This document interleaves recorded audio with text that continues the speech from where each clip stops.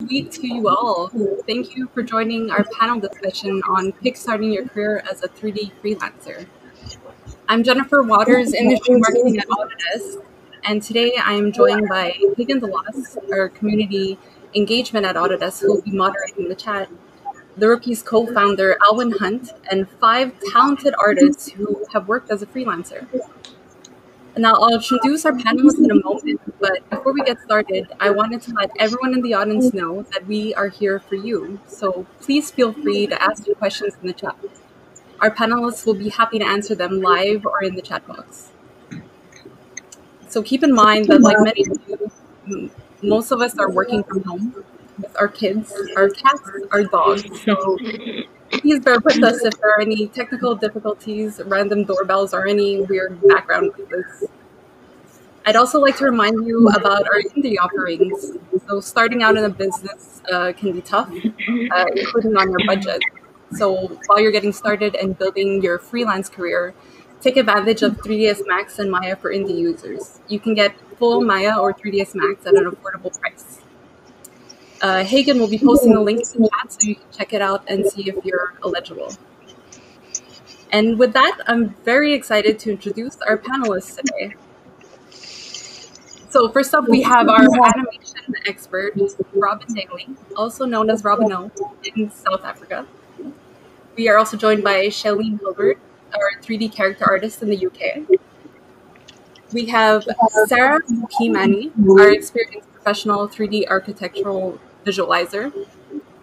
Balazs Domjan, freelance 3D artist currently in the Netherlands, and Justin Mohlman, game, develop, game development learning producer at in the US.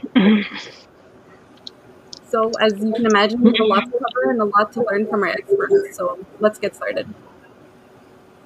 So, I think we can begin with a quick round of introductions. Can each of you tell us about your work, um, your background, and talk about the journey of how you got started on your own. Let's start with uh, Robyn. Um, so I'm a 3D animator and a generalist as well, and I also do some motion graphics design.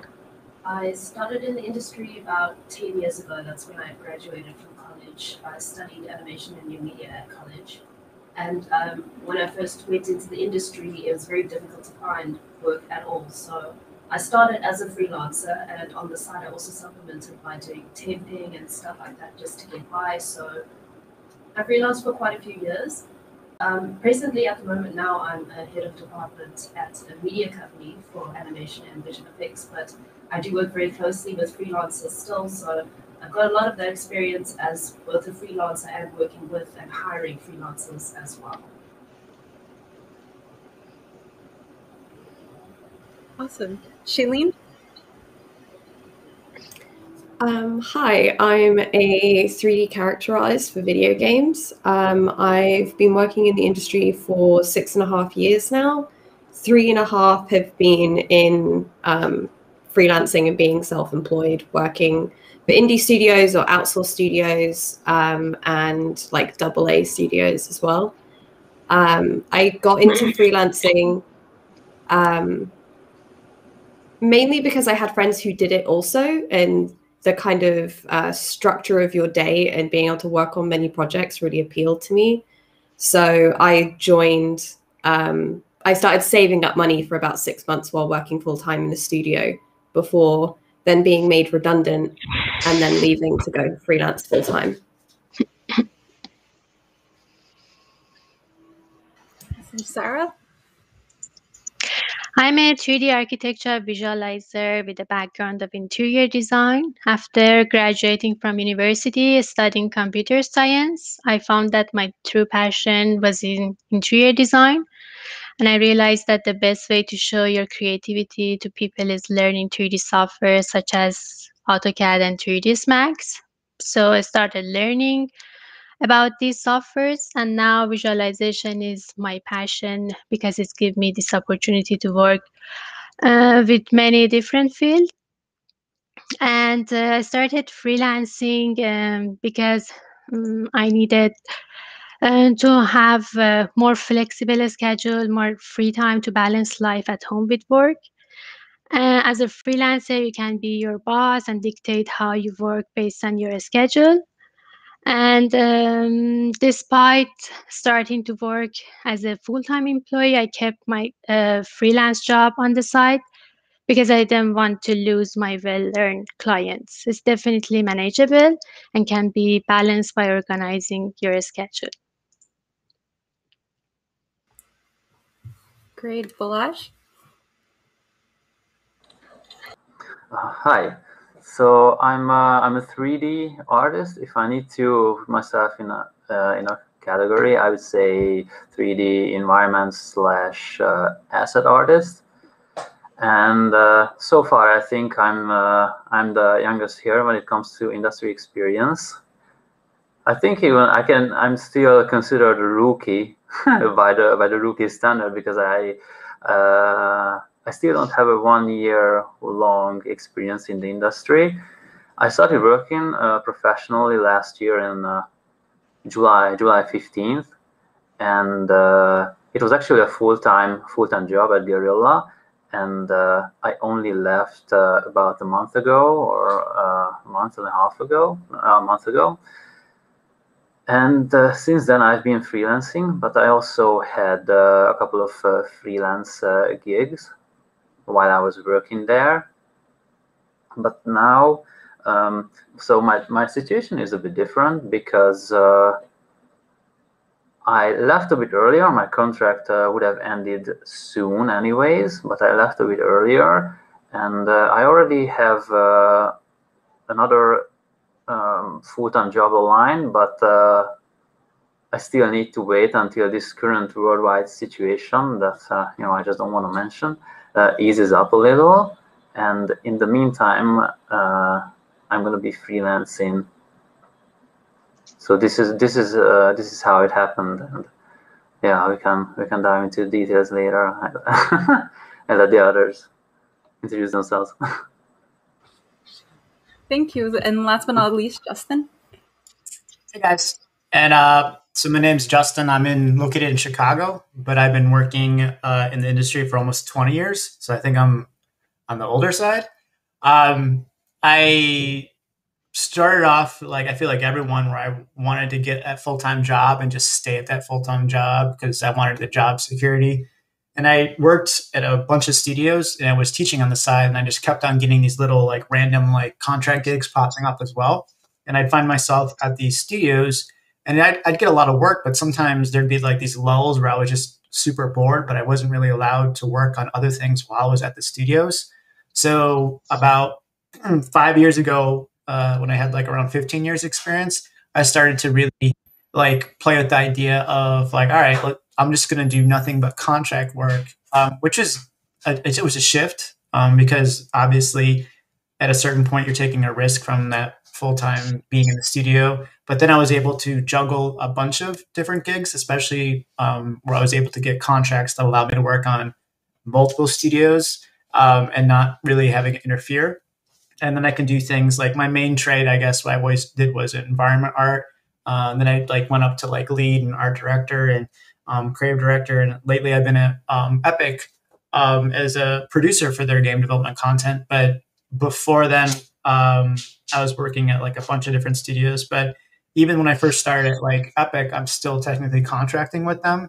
And I'm working with people like the rookies. I'm doing stuff with heavy metal. I'm doing like all these different things. And I think the main reason I want to start to do it because I met a couple friends, which is ironically how I met Alwyn through um, these friends. And I just wanted to travel more. And I, my main mistake being an artist, I wanted to really, before I got like older and couldn't do it or before there was like lockdowns i wanted to be able to like travel see different countries see different cultures and really absorb that. And i feel like it's made me uh, a better developer a better creative because i've been able to you know like there's something about getting out of your country your routine that allows you to like really appreciate other architecture aspects other visual aspects problem solving.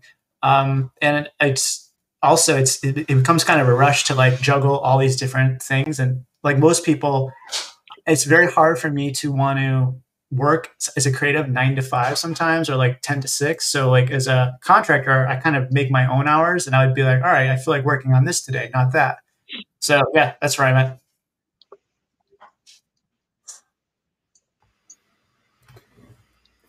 Awesome. Um, so I wanted to ask you all how, when you got started, how did you learn the business side of freelancing? Because I mean, I know you know coming out of school or even getting off a, a stable regular job, it it could be daunting. Like learning the business side. How do you invoice and um, how did you get to learn those skills? Did you take a business class or was it self taught? Self taught. And if I'm being completely honest, I've been audited twice by the IRS. Um, and that's not fun, but it, it's something that like I didn't realize. I thought it like the more I kept on getting gigs, the more I started shifting from a W two in um, United States to like more 1099s, and I started like getting jobs in different countries. And when it came to like tax time, I would always just be like, yeah, I can do my own taxes. But then there was a point in like 2013 where I started doing my taxes. I didn't, I, you know, you, think you understand what you can write off, what you can't write off, how to itemize, how to specialize things, and you don't. And then that at that point, I was like, all right, I need to really invest in an accountant. I got audited twice, which sucked, but it also was a huge learning experience, and it taught me how I can be better with my funds, um, like getting like setting up um, American like I, I, use American Express Business. I'm not like saying you should do this, but that Amex business is where I then like I have a Autodesk Indie license, I have my Adobe, everything else that goes to that. I have if I do travel, if I'm doing something with the rookies or with Epic, and I travel someplace, I use that for my meals, for my hotel, for my flights. And then when I'm doing my end of the year stuff, it's easier to break down, see what my expenses are. But that also helps me determine on top of that, how much should I be charging for an event? Is this something that's worth my while? How is it going to benefit me? But it was I would say I mean, everything I've ever done. There's I've never read a book. It's just been like you react to it, then you find out the, what you should and shouldn't do, and then now I'm like, all right, cool. I'm very very aware of what I cannot do to get audited again. So that's good. Does anyone else want to weigh in on how they taught themselves the business side of things? Mm, for me, first time invoicing was based on Google search and asking some of my coworkers.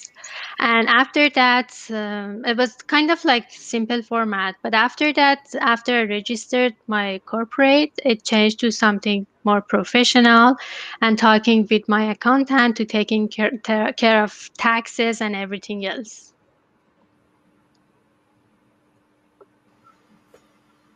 Um, I guess in the UK, I'm not sure how it is in other countries, but you don't necessarily have to be a company.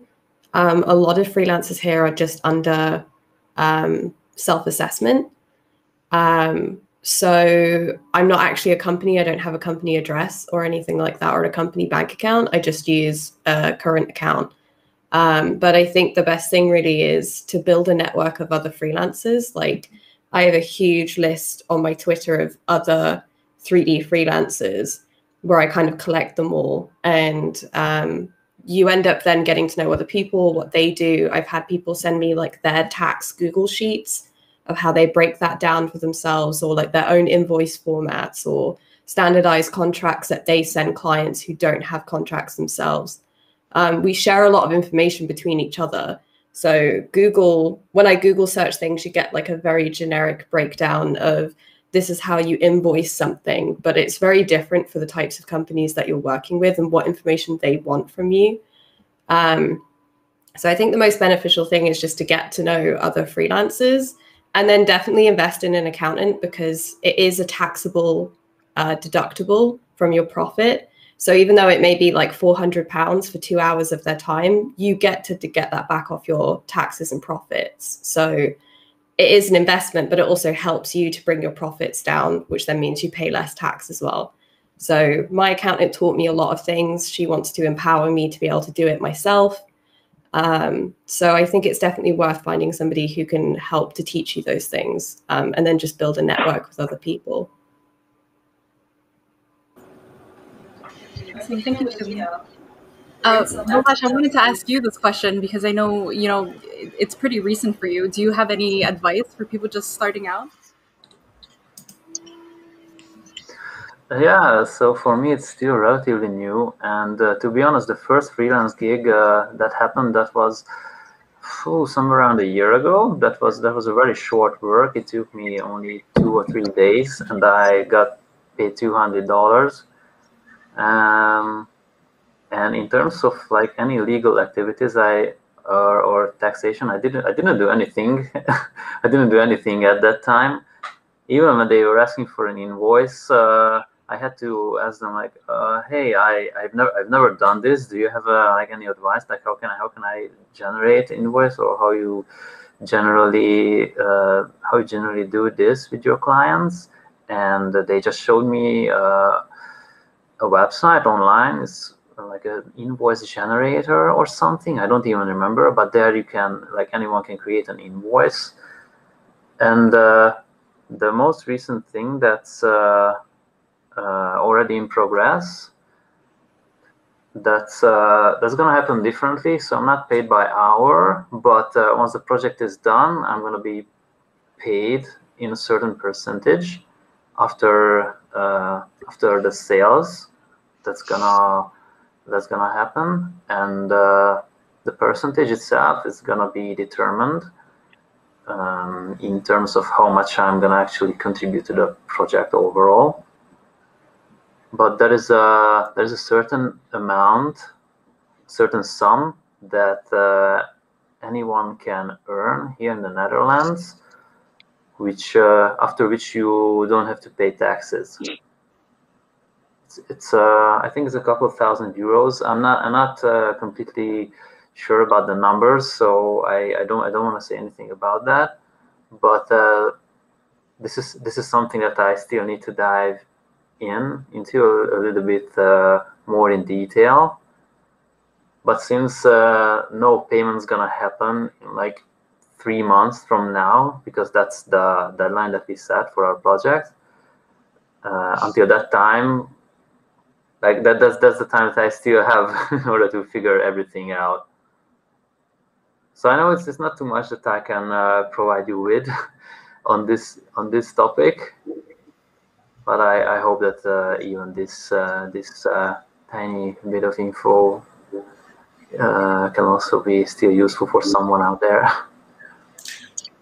Awesome. Thank you. I was just gonna just quickly add to that if I can. Um, you know, and you you know when, when you when you get into these various industries as well, you know, and you start traveling, like every country is different, right? And and Justin, who has been, you know, audited a couple of times, and that's just in the States, right? I've worked in the States as well, and it's like, the, you, I can't stress enough. Like sometimes you're like, oh, you skimp out on, on trying to get a good accountant because it's they're expensive or whatever, but they will pay them pay for themselves ten times back um, if you get a good accountant. And you know, first and foremost, if you're going freelance, that would be my number one priority is getting a good accountant first and foremost. Yeah, because uh, honestly, like um, it's a, like I think I heard it be something talk about like invoice generator. Like you'll you'll find once you get that accountant, you become more aware. Like I break down. I have my accountant, but I still break down everything I'm doing.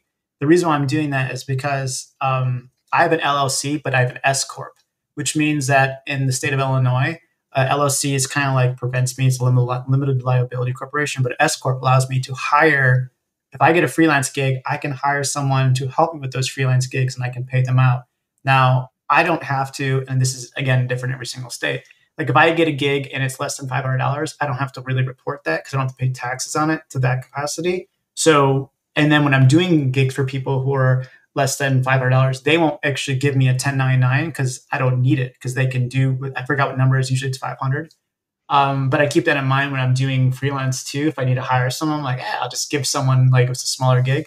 But um, i use this this tool called hello bonsai. Again it works for me works for whoever else but i like it because it's made me more professional. There's a spreadsheet in the back of it. It auto generates um, contracts. It has all these different things you can kind of deal with it. There's a good tracking thing. It sends reminders so I don't have to. So that way, people take me seriously because when I'm doing my free my contract stuff, um, unless it's like a signed contract where I have like years of work and I'm always getting paid a set time, I ask for half up front and then half upon completion, and I give them clear guidelines of what I'm doing in all this? Because I think that's the biggest thing. When you're, you're, a freelancer, there has to be some sort of like bullet point, um, like description of, hey, clearly stating what you are doing for them when you're delivering it. And because the, the trap that a lot of people are going to get into when they're doing freelance is people wanting iterations or changings, changes, and they want it to be covered underneath that initial payment. It's like, then they're taking advantage of you.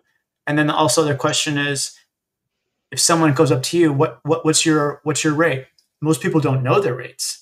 Um, and the easiest way to kind of break down your rates, like some people will have like they'll ask for day rates or they'll ask for like hourly rates.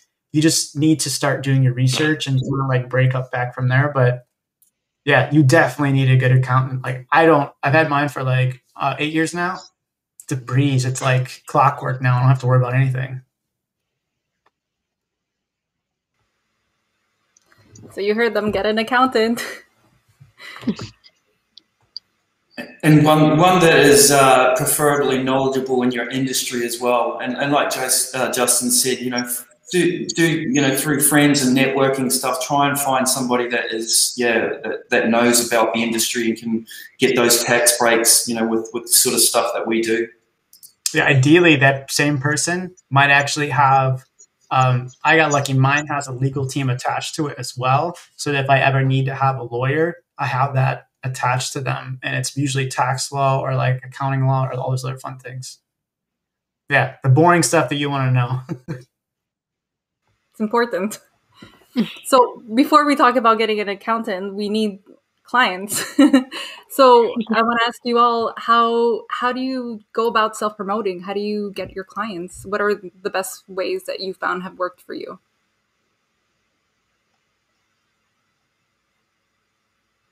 I'll try real quick. Uh, you just have to be reliable. Like the biggest thing that you can control is who you are, your brand, and it's not necessarily how good you are initially. It's as it's as like if Alwyn reaches out to me he's like, I know Justin's going to respond. I know he's going to do this. He always has. So that way, if someone is asking Alwyn for a gig and he needs someone that's in North America, he needs someone that does game dev, he's like, who do I know? All right, Justin is reliable and he'll respond and he does good work.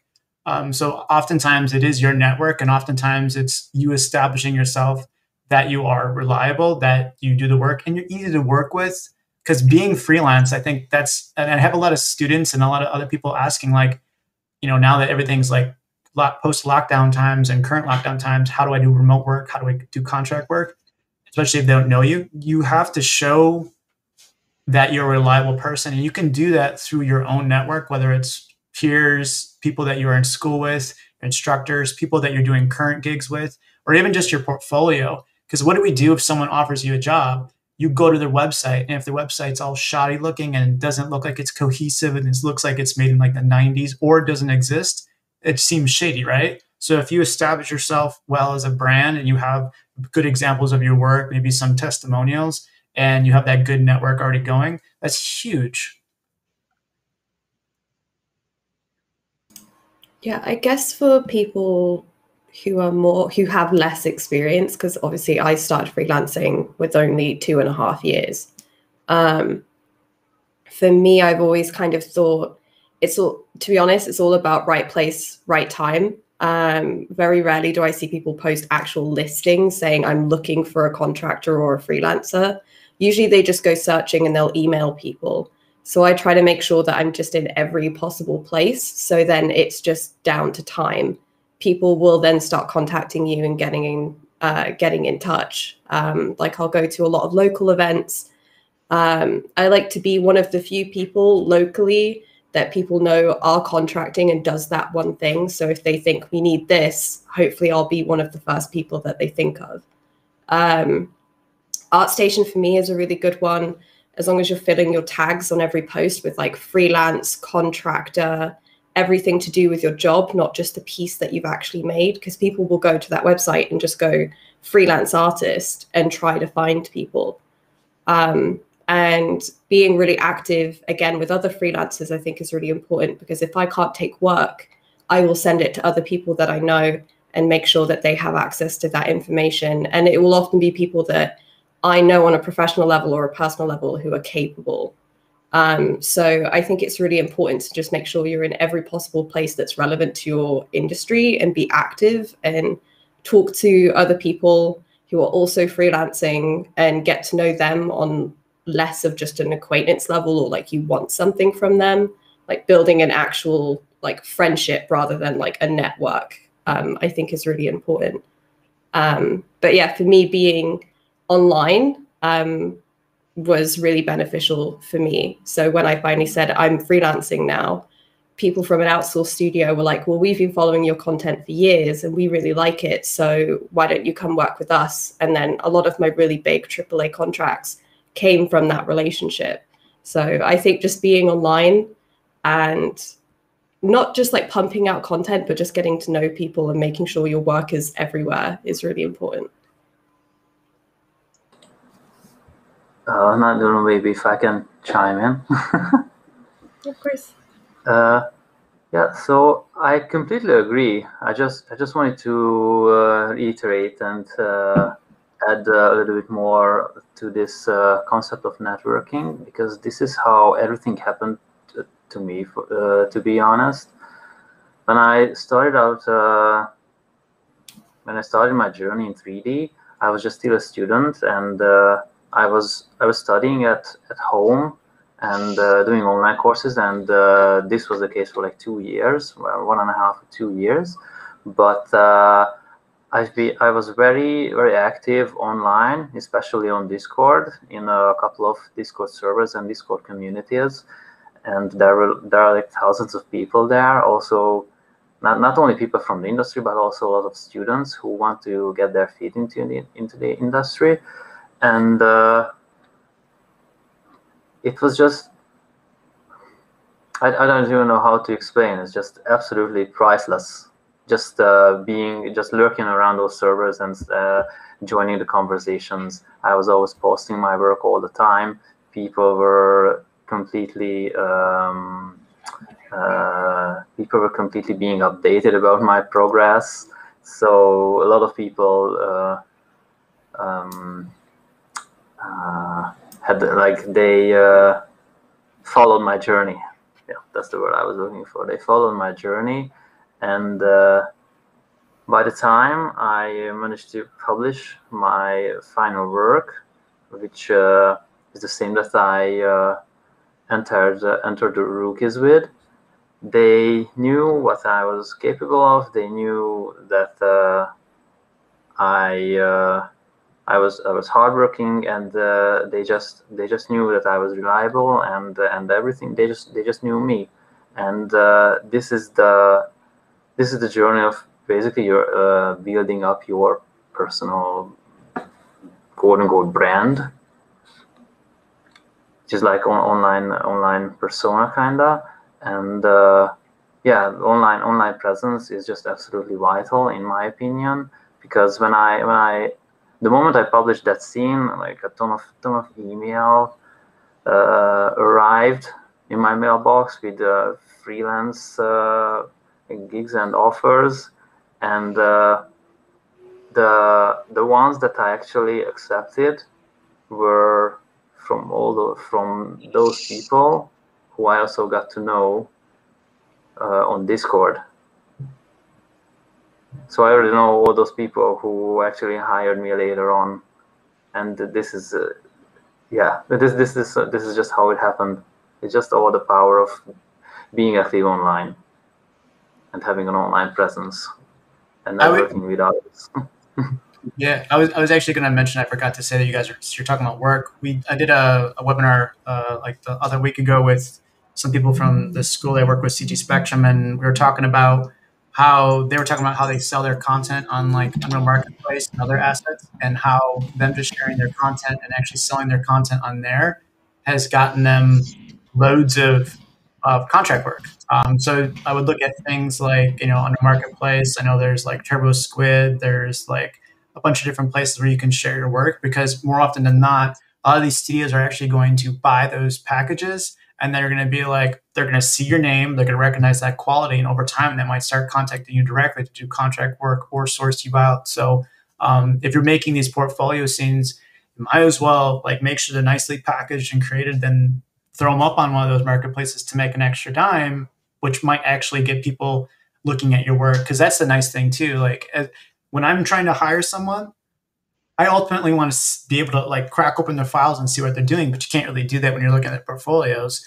Most of the time, a lot of people don't even have their breakdowns or like the reference or how they did the process on there. That's something that me and Alwyn always like we'll look at when we're getting like whether it's for weekly drills or like uh, rookie submissions is like, all right, this is a great final product, but I have no idea how you got here. I have no idea what your wireframe, your UV. I, I don't know if you're like someone who's an organized, like, would I actually like working with your files? And that's huge when it comes to freelance because ultimately you're not next to me.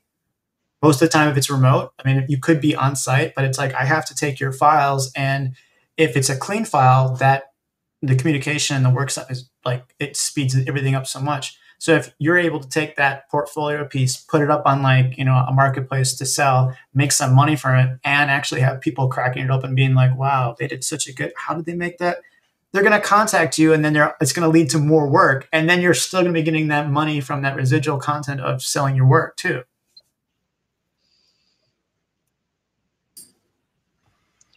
Yeah, I completely agree with all of you. The first thing when I started was thinking that uh, knowledge is very important. Try to learn every day and try to be the best version of yourself. And the, because in this industry, every day we have a lot of updates. So you need to learn every day, even uh, something very small and then uh, having a very great portfolio that represent all of the knowledge that you have is the key also making connection in linkedin because it's so important that having a lot of connection you can find a lot of people company that working in this field. So you can make connections send your portfolio and show yourself show your talents. And also there are a lot of kind of websites like behance cg architect that you can have portfolio and you can make connection there show your portfolio.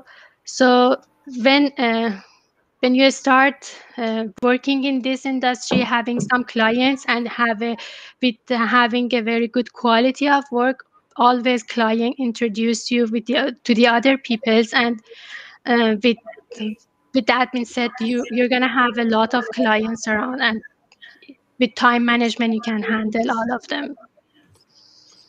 Yeah, I just wanted to quickly add to a point you just said then, Sara, which is, you know, like being completely honest and being a good person and offering a good service. Well, you know, and there's been a few questions in the chat in, in regards to how do you manage to juggle all your work, you know, when you're taking on multiple contracts. I think you know, you know, from personal experience, when you're first starting out, you you um, you can be guilty of do, taking on too much work and, and really diluting the quality of your work.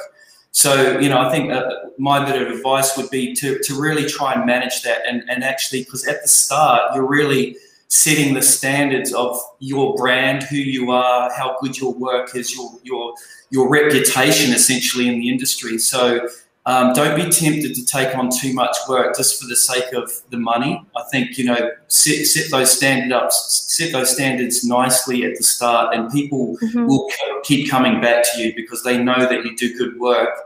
And you know, if you're a good person, you know, even if you can't accept that job at that point, the being a good person and being able to communicate with somebody during a job is, is one is, is, is fundamental. If you if you you could be a great artist but not be able to communicate the message and be able to articulate, you know, the the, the feedback and, and take that constructively. So there's a lot of there's a lot of dynamics going on in freelancing that, um, but I think it's crucial to be able to set that up from the start. Uh, yeah, that that quality over quantity. Um, because I'm guilty, like what Alwyn just said. I I've gotten excited and I've like you'll have sometimes like when it rains it pours, or sometimes you'll have no gigs, and then you might keep committing to all these gigs because you're like, oh no, what happens if I don't have any work for a long time?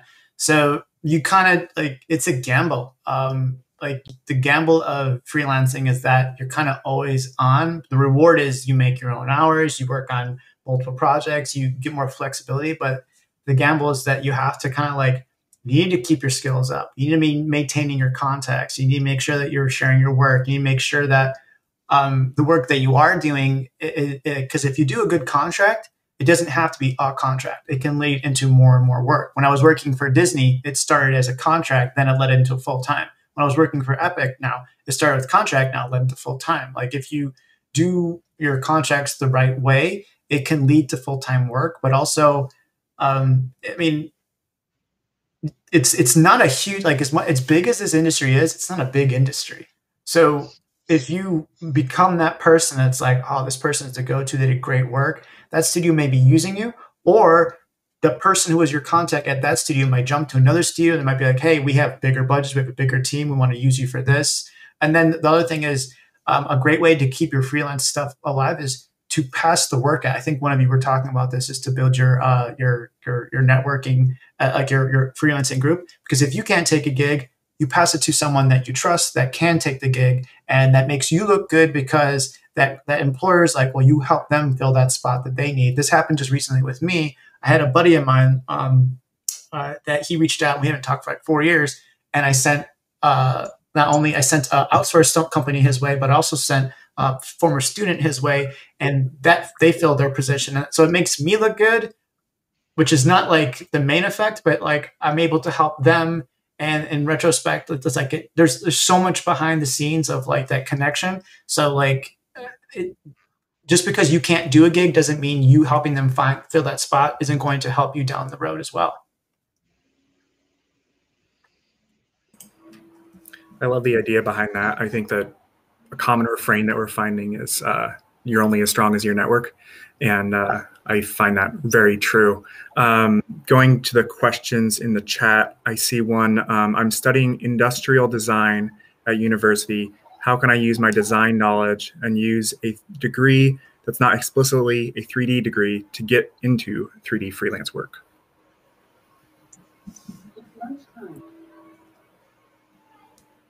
I jump into uh, so what I would do is um, you need to find a need.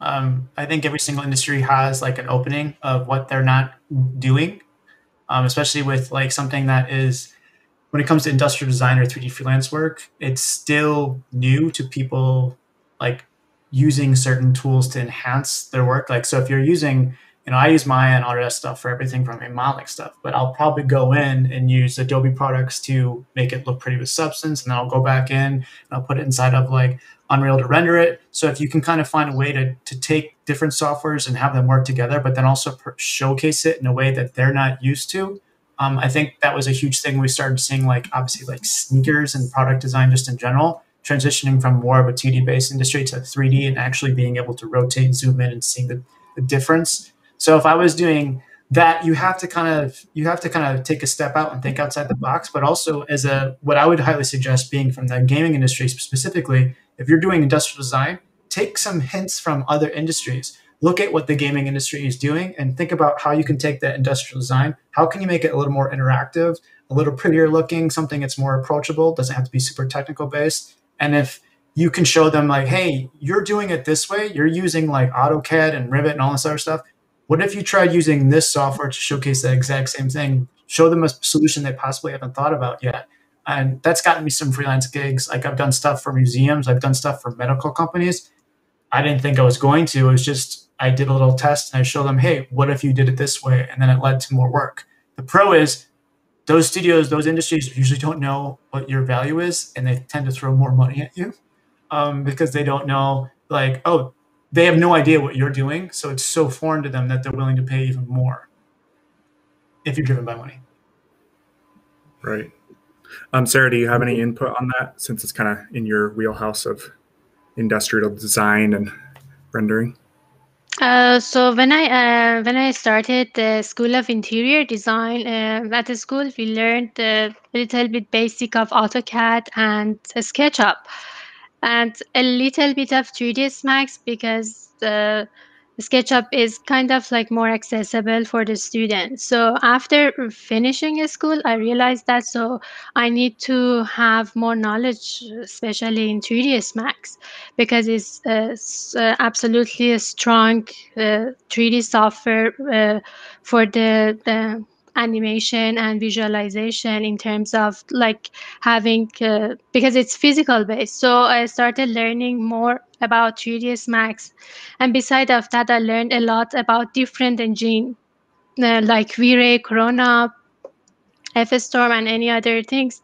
After that i started learning about animation. With animation i needed to learn about adobe software. So uh, but i'm trying to say that when you start uh, when you when you're uh, at a school and learning something uh, after graduation you're going to find out which type of the work and like field you want to continue and based on that you can learn more about the software related to that. And it's going to start learning uh, with the basic knowledge that you learn at the school with the software that they're teaching and after that you can learn more about that. Yeah i really appreciate that. I feel like when after i graduated sure the school gave me a lot of tools and um, on-hand knowledge but there was a reorientation period after graduation. Mm. um, and and actually getting into the industry is very different. So i appreciate that you kind of took your skills and said, okay, how do I apply this to the industry that I actually want to be in and, and kept on learning because school is only the first step of, of, of learning. Exactly. Um, we have another question here. Um, do you have any thoughts on a degree versus self-taught? I am self-taught and have some concerns. Is it good? Is a good portfolio enough to get a good job? I guess I kind of want to pitch in because I'm both. Um, I went to university in Leicester, which was a game art course, but I was probably either the most below average or worst student ever. I never did the 3D courses, I never did the assignments, I barely passed them. I had no interest in them whatsoever. And it wasn't until I graduated that I realized that 3D could actually be fun when you're not just making like trash cans for three years in a row.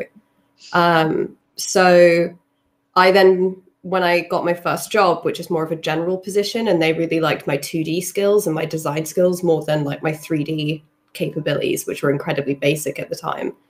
Um, I then took that time to start teaching myself about the character art pipelines, 3D pipelines for games, um, and spent the two and a half years really drilling that in and learning myself and meeting people online and getting feedback from peers. Um, and when I started going freelance, the thing that I find really exciting is that you can call yourself whatever you want, right? I didn't have any character art experience, but I started calling myself one. I had a character art portfolio, and then I started getting character art jobs.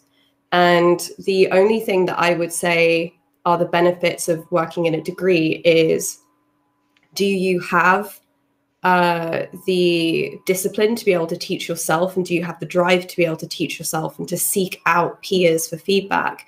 And if not, then going to a university then means that you create, you have peers, you have people you can create a community with and build a network with and support each other. And also an environment where learning is actually supported. Um, there's a lot of self learning that has to happen when you're at university anyway, but having an environment and people to do that with and grow with is really good for people who may struggle to have focus. Um, and a degree is incredibly helpful if you want to work internationally. Um, if you want visas and things like that, if you want to work on a contract for a year with an international company where they want you to come in house, they won't be able to get you the visas if you don't have a degree in the thing that they're hiring you for. Um, other than that, I've never had anybody ask me about my credentials. I've not had anybody talk about my degree, ask me about my degree nor does it really come up in conversations. And a lot of job listings I see don't typically mention that you have to have a degree. What they want to see is the work, that you have the capabilities and you have the skill set, which is why, when it was mentioned earlier, I think by Justin, that having a breakdown of how you're able to actually create your pipeline is really important because that's what they want to see. So if you're very open and honest about how you're creating your models, and showing your skill level, technical skill level on that level, I don't think the fact whether you're self taught or you have a degree is really that much different, unless, again, you want to work internationally. I think it's very important then. Yeah, I mean, um, I've been teaching for almost 15 years now, and everything you said was like to point. I mean, the nice thing that you added that was the, the visa part. That's not something that you know, I was even thinking about. But uh, I, I generally find, I mean, I know this is just like a high level thing. I feel like there's two types of students someone who goes to art school because they have no idea what they want to do. And they're kind of like, I'm going to sample the buffet line, see what these classes are like, trying to find my place. And maybe when I get done with school, I don't want a job, but I also kind of need to figure out do I push this forward? And there's the other part, but usually it's people who have done other schools or have done manual labor and then, then they go to school. They know exactly what they want to do and they're going to take full advantage of every single course. So I, I agree with what you just said too. It's like school's beneficial if if um, you need that extra push to be organized. You don't know the learning path to take. Um, but in a way, I feel like you really need to be able to self teach because I have been out of college for a long time and I'm teaching myself every single year new software, new hardware, new pipeline techniques. Every single studio you go to, you have to learn how to interact with new people. Even if you're doing freelance or contract work, you're not there. You still have to learn how to interact with their pipeline, their their like um, accounting and financial plans. You're constantly learning. So I think the biggest skill set that you can have I could care less if someone has a degree, if I'm being completely honest. I care less if I care more about are they good at communication? Are they passionate? Um, are they patient? Because if they are those three, I can teach them the software that they need to do. Obviously, I'm hoping that they have a baseline understanding of the technology and have a really like decent uh, portfolio I can work from. But you're constantly learning in this industry, so it's not like I'm done. I don't have to worry about this again. You you're always learning, so you have to be able to be constantly self teaching and searching out, you know, things like the rookies, uh, things like the learning things that Autodesk off- offers, anything you find on, on YouTube, these networking events, um, like that stuff. You need to always be trying to learn. But if I'm being completely blunt, I personally, as I'm hiring, I've never looked at someone's portfolio and been like, looks great, but you don't have a degree uh, it always comes down to do I like their portfolio? Do I like them as a person? Because I have to trust you to a certain extent to financially invest myself and be like, hey, I hope to hope you're going to deliver because I have other people I have to answer to. Does anyone else want to chime in on that? Yeah, um, I completely agree with you guys. Um, obviously, also myself, like I never look and see if a person has a degree if I'm looking to hire someone, but in terms of work and workflows and pipelines, it definitely can help somebody to have that basis in the fundamentals because if you're completely self teaching, it's so difficult to know what you should actually be doing and the steps you should be taking in the process of the workflows. And I found so many people who they have so much potential, but it takes them so long to get anywhere because they never had anyone actually giving them that guidance. So even if it's not a degree, I think it can be very helpful to do courses or have some sort of mentor or somebody who's helping to guide you because there are so many steps that are so easy to just miss out on because you've got nobody telling you that you need to be taking these steps in your workflow. So while it's not necessary, I yeah, people don't often ask for degrees or your qualifications. I think it can be very helpful, especially if you are planning on you know getting somewhere in the indus- in the industry like fast. You know, it can take so many years just trying to find your footing in what you should be doing and how to achieve the end result that you're looking for. So I think that guidance with courses, even if it's just an online course or something like that, can be very helpful for you.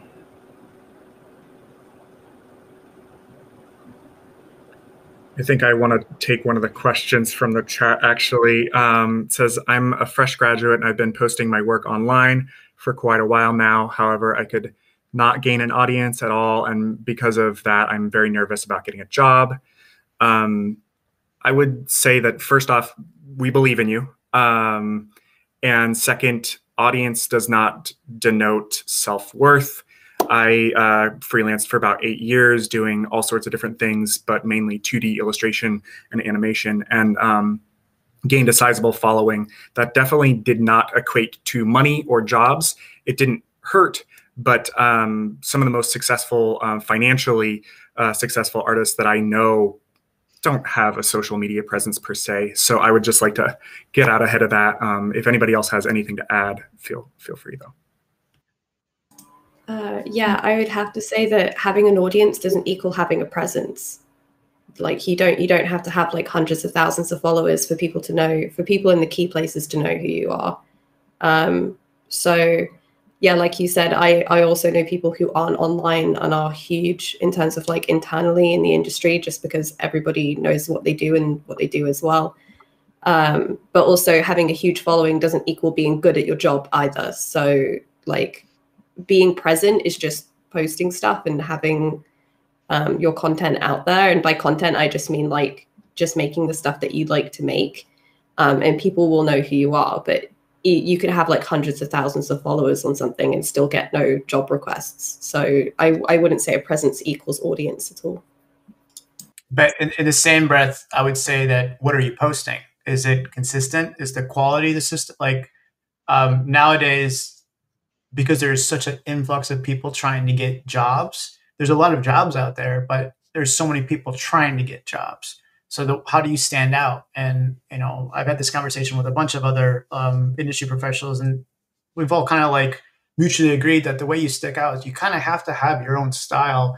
Uh, if that style is like, if you're like, if it's more like Pixar-ish or like realism, like Last of Us or whatever it is, that's your style, and you have to also have that subject matter because then it's like, oh man, this this person always does uh, this amazing like prop stuff that's like Pixar style. Cool. I want because then it's easier easier to market yourself, easier for people to follow you, easier to really get like studios that are asking for that type of work. But yeah, I agree. I've seen people who have like hundreds of thousands of followers that have no work. And if I'm being honest, how do we know that they didn't pay for half those followers? I've seen friends, like not friends, but people. I've seen people that jump to all of a sudden like having like 20 or 37 followers a thousand, and then you look at the people who are actually liking the work, and it's like low hundreds, and I'm like, well, look at the engagement. That's like 0.0005 percent. It's not good engagement. So the amount of followers, the amount of like, I wouldn't have like treat your your social media on stuff as just like it's another place to showcase your work. If you get work from it, that's awesome. But it shouldn't be the end all meal. Uh, but it, it, takes patience. Like if you're fresh out of uh, out of school, or if you're still new to the industry, I've I've seen people like one of my really good friends like it, he didn't have a job for five years after he graduated and he's worked at a bunch of other studios since then. Now he's like higher up at one of like my favorite studios. He's like one of the leads there. But like, sometimes it's harder for certain people and it just comes down to a variety of factors but you just have to be persistent and constant. And i think that's the biggest thing that people struggle with is being patient persistent and constant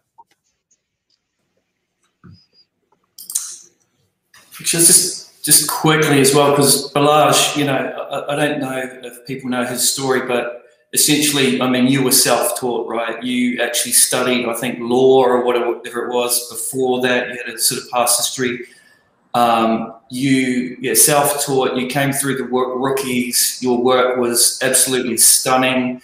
You, you're a really good, I think, model of somebody that's sort of, you know, gone through that self-taught route uh, promoted your work online, been recognised by you know major companies overseas, and you know I think your story is, is pretty pretty amazing, mate. So I think you're, you're being very quiet in the corner, but um, you're a very good example of somebody that uh-huh. you know has, has followed that path of of promoting your work online, being recognised but you know your work speaks for itself right your work is amazing and you're not just out there you know, dropping loads and loads of content, you're actually, it's quality work and it, and it has been noticed. So, yeah, just, I just want to pay kudos to you, mate. You've done a great job. Thanks. well, I'm, I'm much appreciated. I don't know what to say. Thank you. Thanks. That's very nice of you. I actually, I actually wanted to just uh, quickly add that I completely agree with uh, uh, Justin that style is uh, style is crucial when it comes to uh, getting yourself noticed. Um, this is this is uh, so in my case this was a this was a very long process to even figure out what the scene is gonna be, what the demo reel is gonna be about that uh, I'm gonna be making. So that that that was I think that process to finally just uh, get the idea solidified and uh, just making it clear in my mind okay this is this is the scene that i want to do. I think the process of finding the idea took me even longer than making the whole thing afterwards. And uh, because i know that there are so many amazing works out there but when you see like the when you like see 50 post-apocalyptic bunkers one after another. All of them are amazing but you just the, the whole thing just feels like soulless and no style at all even though it looks absolutely beautiful. And it uh, it makes like it's jaw dropping and everything. It's just uh, less style. And when you see 50 of them you're just gonna distinguish one artist from from another yeah i mean and, yeah and, I, I, just wanted to add this like uh, i just wanted to highlight this and emphasize because uh, yeah i think it's absolutely crucial. Yeah what you what you said is a great point because i feel like um, there's this impatience when it comes to not only learning software but creating content that I, I, see a lot of people just rushing to get things done. But you look at actual productions of any animation game visual effects they have pre-production production and post-production. The pre-production you need to research and plan what you're going to make and why. If you go on like ArtStation or the rookies and you see like, oh man, all I'm seeing is like guns, cars, swords, all that stuff. How do you make something that sticks out? But it's also, it's not, I've seen people like run up and show us like huge, crazy scenes. And I'm like, that's amazing.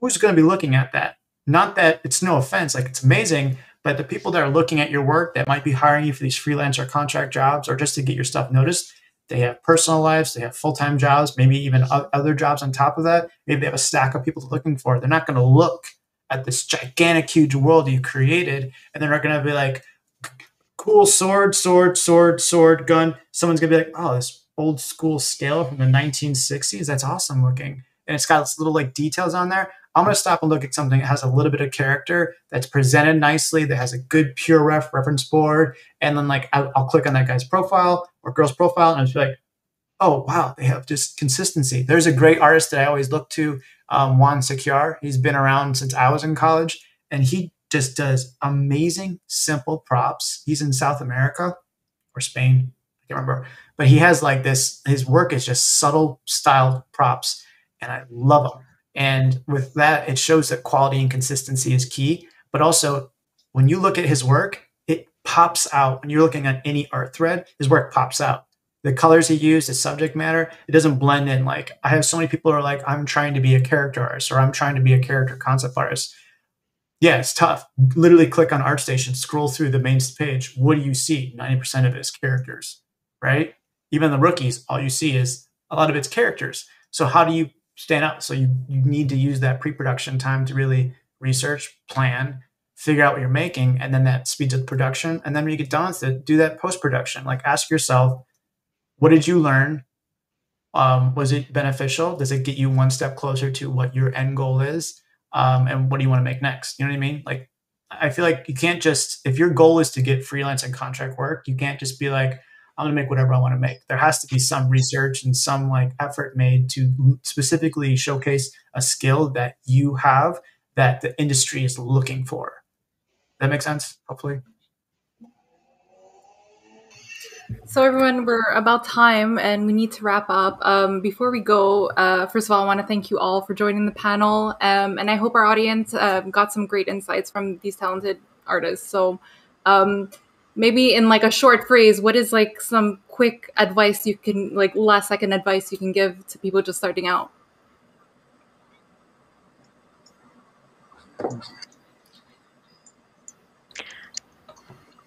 I think having a healthy work life balance requires managing our personal and professional lives so that they don't affect our physical or mental health. To get there, you should track your life, see what is important, make a list in terms of priorities, set time for each item, and set goals and uh, make a step-by-step schedule to achieve them. Take care of your health and spend time with your family, loved ones. At least have some, at least 30 minutes per day. Spend time for yourself. No stress after work.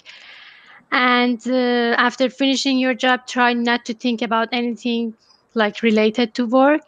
And I believe that with a good schedule, this is easy because you know that everything has its own time and place. And it's going to be helpful to have a life balance and enjoy your life while still having a successful freelance career. Amen. what a lovely way to and don't and don't and don't try to rush it because I think I think a, ton of people are looking for motivation, but uh, in, man- in most cases I think it's not motivation that they lack, but clarity. Like you need to have a specific goal on what you want to achieve, and then you will find a way to get there.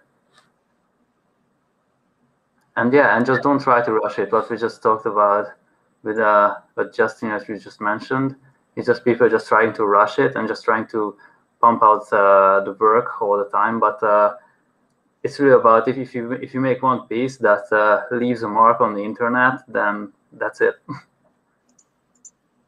Yeah, I, I'd say like, yeah, the goal would be just, but it'd be kind of like what you actually just both said, having that life balance, but also make sure you're doing this for a reason uh, and doing it for the right reasons. If you're doing it to try to get rich or to work yourself to death, it's not good. Um, and like if you're looking for that flexibility so you can travel, like so ask yourself why do you want to freelance as opposed to be full time? Um, and maybe that, that is you want to freelance a contract because you can't get full time yet and you're hoping to get a full time job. Cool. As long as you have that goal and you can plan backwards from that, um, and really being honest with yourself why you want to do this lifestyle.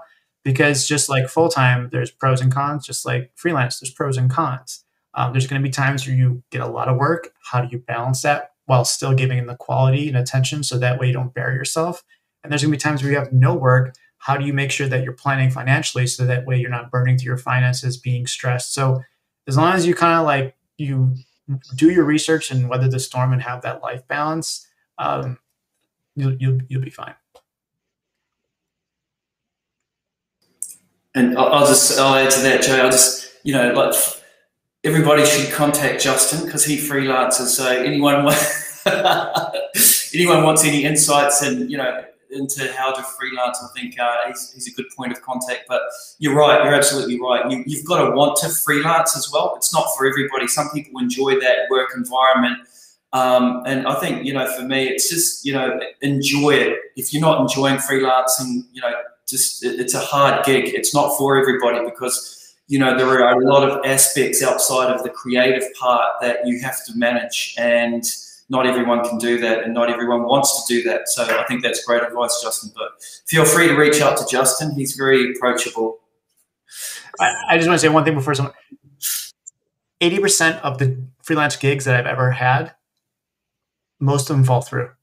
So be prepared too. Be prepared to have a lot of the projects that you're trying to do, even these really amazing ones, they might just fill, fizzle out. So, you know, just because someone says you're getting the contract, there's nothing that says, even I've had a contract up to the day where I had everything planned. Just so be prepared. Robyn, do you have any closing uh, advice? Can you hear me? Yeah, we can hear you. Maybe okay, okay.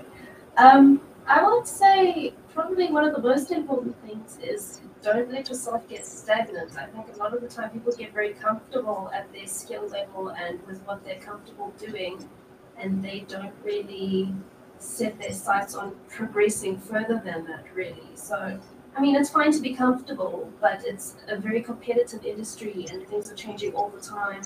So it's just good to always have that mindset of always improving and always, you know, learning new software and staying competitive within the industry. Otherwise, you're just going to fall behind, really. Sorry if that sounds like harsh, but it's kind of a reality. Oh, it's great advice. Shayleen? Oh, um, gosh, I guess the biggest thing, like I, I agree with Sara the the most. It's you need to learn to say no and set very clear boundaries with your clients and not to feel bad about that. Um, to uh, as I, I'm I'm sorry to bring it up, but especially being a woman in the industry, it can feel very difficult to be able to clearly say this is my boundary and I won't cross it, and you know, without the fear of coming across as that person. Um, so I think don't be afraid to say no to things. Don't be afraid to say it's six o'clock. I don't work past six o'clock. I'm not going to reply to your email at 11 p.m. That's a clear boundary to have with clients as well. Um, and then to add on what I think Justin was saying is that out of 10 emails I may get in my inbox, only one of them will be a legit job. Um, so try not to get too excited if you're getting a lot of um, work requests sometimes simply just saying what your rate is will like cut out like 50 60% of them. So just try to be relaxed make sure you ask your clients as many questions as possible to get as much information as possible um, and just have that work life balance and set clear boundaries because um, the best clients do respect them and don't ever cross them. So if you have clients who regularly try to cross those boundaries then you know not to work with them again um, so don't feel bad about doing those things because ultimately you're there to help them. Um, they're not doing you a favor. You know, you're you're there to help them and provide a service for them. So setting a boundary isn't you being a bad person. Um, but that's probably the only thing that I have to add. Thank you, everyone. Um, to everyone in the audience, good luck on starting your freelance career. Bye. Good luck. Bye. See you guys. Bye bye. Rest of the week.